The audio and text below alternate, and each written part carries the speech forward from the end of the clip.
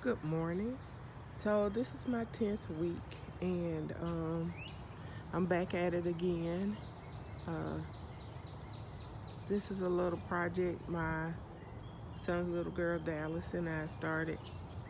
Um, I bought these buckets during uh, the Easter clearance sale. They were nine cents a piece. So I drilled holes in the bottom and um, we had a lot of fun filling them. So these are actually um, hummingbird wildflower uh, seeds that we planted in here, well that she planted in here. So she would have some little wildflowers. And in these, um, she actually planted, um, uh, I put a slice of tomato and then some strawberry seeds. So we had fun um, picking off some strawberry seeds and I see that something has already begun to sprout, but I think that's another one of her hummingbird um, wildflower seeds. And then the other two are um, tomato and tomato and strawberry seeds. And that's her pepper. She hasn't planted yet. But um, I use some catering tops to put over the tops to keep them from drying out so fast because here in South Mississippi is already starting to get real hot. And over here, my mystery seeds I see have actually turned out to be watermelon and some type of squash, and they're already beginning to flower. I had to uh, space out the bricks. I'll be removing those later on before it rains um, so that they could sort of um, begin to spread out. I think the bricks are becoming too hot and they were wilting a lot. So um, I laid them down and so they started thriving and then they started blooming. so they're starting to take off a little bit. I planted some more herbs um, here, but I'll be removing these pots soon because I want to remove the plastic and um, dig a few holes for my bootleg bougie box garden. Um, since the uh, tornadoes that came through and um, I've been having to work um, a little bit more. I still wanted to get out and plant so I wanted to start um, to do something. I didn't have pots or whatever. So I started this bootleg bougie box garden and I, I didn't expect for it to take off like it did. I had some random seeds in that, that I planted. So that's what's in these boxes that are somewhat starting to break down a little bit, but I sort of had an idea to have a bed in this spot, but I needed to remove this particular tree and I wasn't sure when I was gonna do that, but I still wanted to plant something, so that's what this is. So this is actually what's in the bottom of this pot. Uh, what's planted in this pot is actually um, uh, some plum um, shoots from my grandmother's plum tree. And it looks like that they've died off, but actually the roots were very, very um, good. So my mom told me to leave them planted. And I guess on a windy day, uh, a sunflower um, seed blew in and a carrot seed blew in. And I think that other, that other thing that's growing may be grass. But these are carrots. Um, what didn't come up was lavender. None of my lavender seeds came up.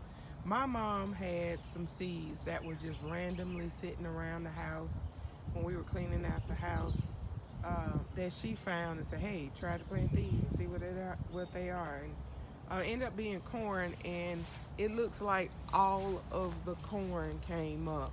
So I used um, the Girl Scout cookie box and uh, my Amazon shipping boxes for planting and seems like the Amazon shipping boxes have really done well. That's corn and actually a potato.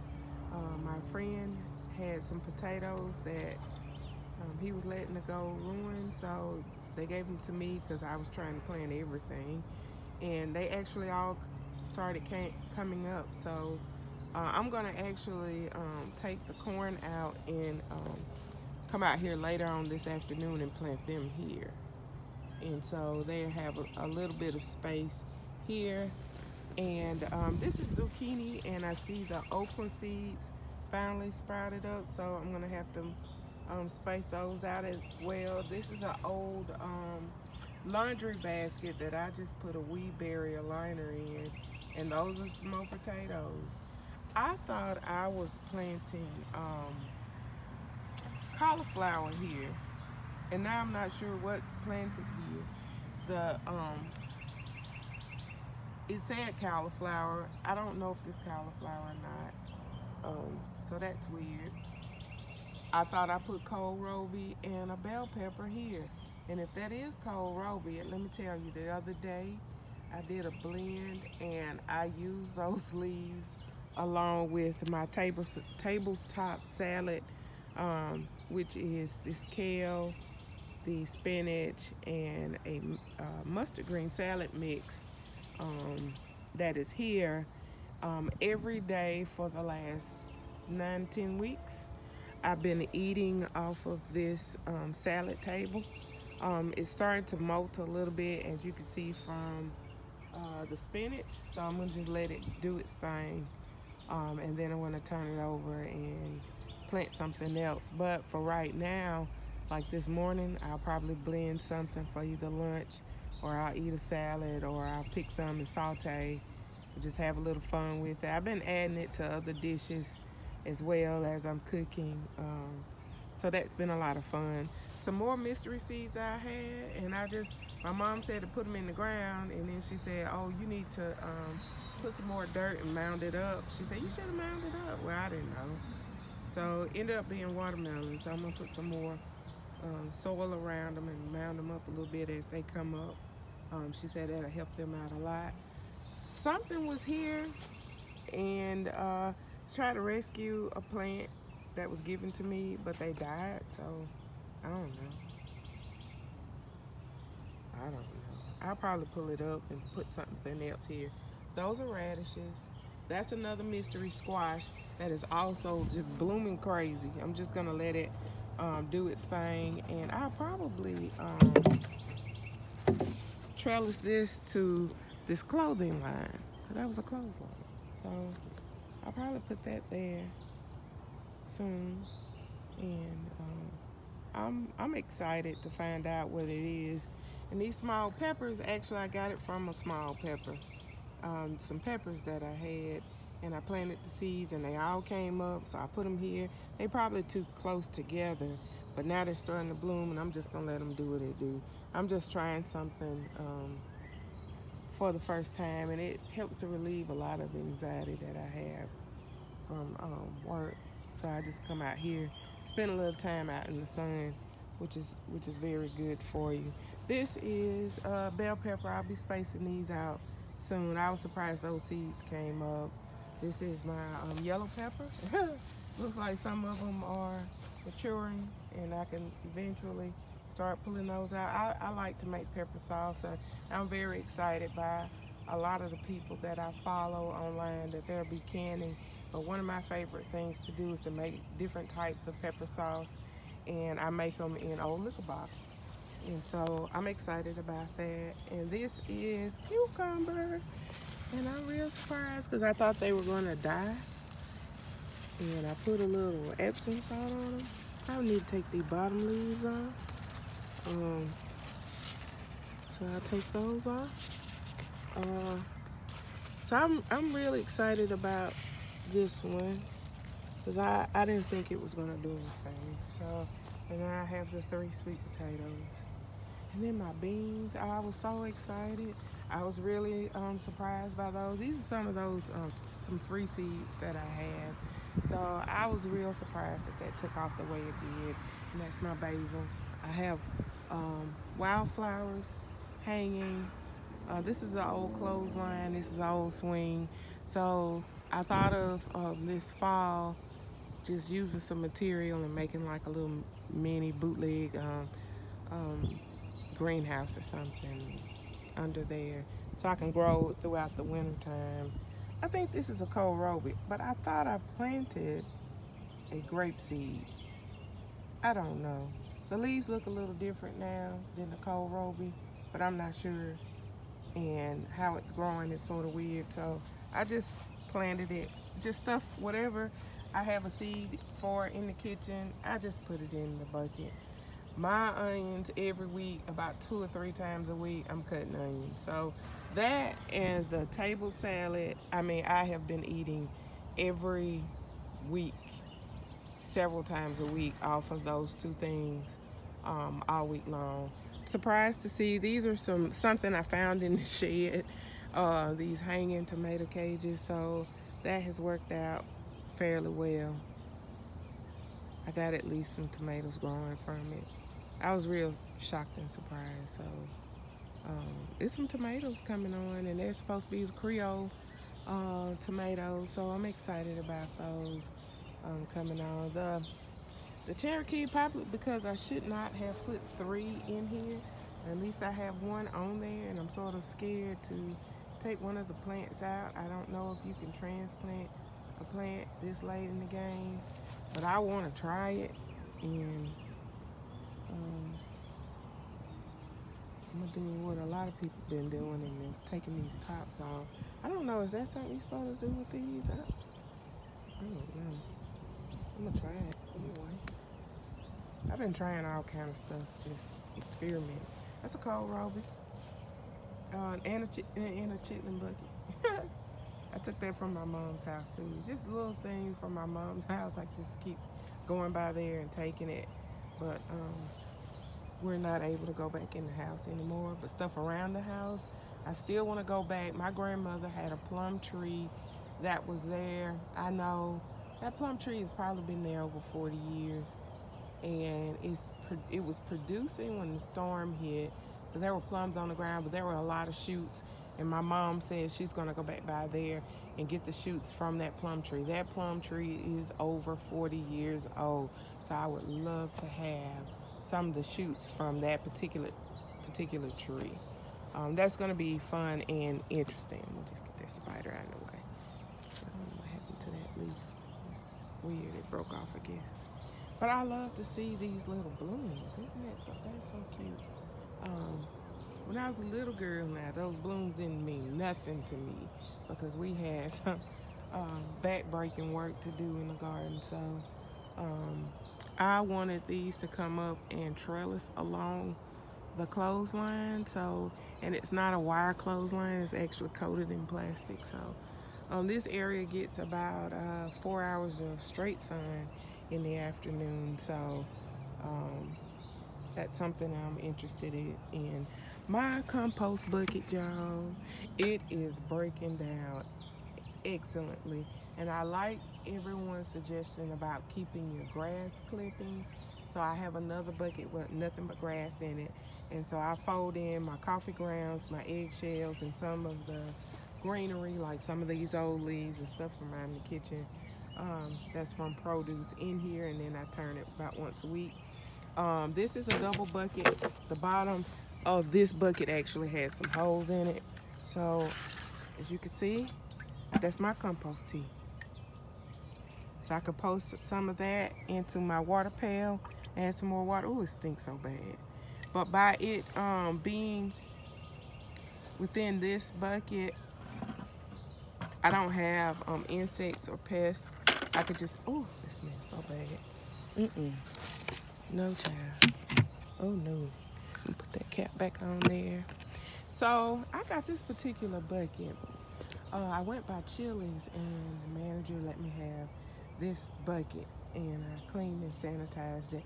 You can use, if you want to get the smell out of buckets, you can use vinegar or you can use a little uh, peroxide and baking soda or just baking soda and water and just scrub around and let it sit for a while and um, and then rinse it out very well. That helps to get um, a lot of uh, things out of a bucket. I like it because it had the little seal top. It was easy to use and when it rains I just take the cap off and let it uh, work that way. But that compost tea really, really, really stinks but it works well. So that's been a big plus for me in that I'm making my own compost so that when I get ready to mount, um, to extend my uh, bootleg bougie box, garden and take some of these things out. Like these are snapper peas right here. So I'm gonna take a few of those out of there and spread them out. I'll probably just leave two in there. that, uh, and I'll put the corn, okra over there, maybe a potato. These were tiny potatoes. I, I don't know. I'm real surprised at what's happening in the Amazon boxes. These were all things that I got from Amazon and they took off so fast. So uh, I didn't want to have the excuse that I couldn't plant something because I couldn't get out or I didn't have a post hole digger or a shovel or something like that. So I didn't want that to be my excuse, but I throw away boxes, in order from Amazon. I won't say I'm an addict. Quite often. So um, um, I wanted to do something with the boxes and they didn't have any dyes on the inside. So that's sort of what I, I ran with that. I really ran with that. So I'll be planting more in buckets later on. I have a bucket back there that um, if you just have to water your plants with uh, tap water, even if you have to just drink tap water, collect it in glass or if you collect it in a big pot outside, uh, let it sit for 24 hours. Chlorine, when it doesn't have a way to escape, will evaporate and come to the top. So within 24 hours, you would smell less of the chlorine, and a lot of um, a lot of impurities will be lifted if you use glass. So that's just something to think about. But um, in the front of the house, I have herbs and strawberries. So I'm gonna walk that way.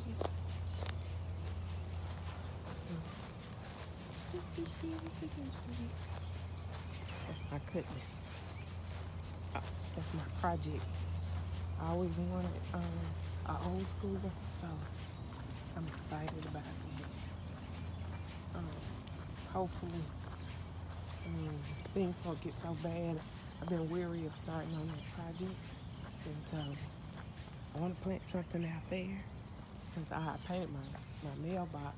This is my spearmint. If anybody got um, any ideas of something else I could do with this, I think I need to repot it or something. If you have any ideas, please share them in the comments. I would appreciate it. Um, I think these were some some kind of flower seeds I put in there. That's my cilantro, which I need a bigger pot for. Uh, sage for my daughter, I planted. Um, I try to have just herbs in the front. That is my, I hope that's what it is, but it's supposed to be, I hope that's not grass, but it's supposed to be ginger.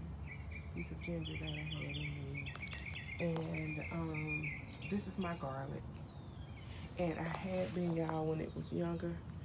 Um, you can come out here and I cut a piece and I chop it up. Oh, it smells good on my hands. These are my strawberries.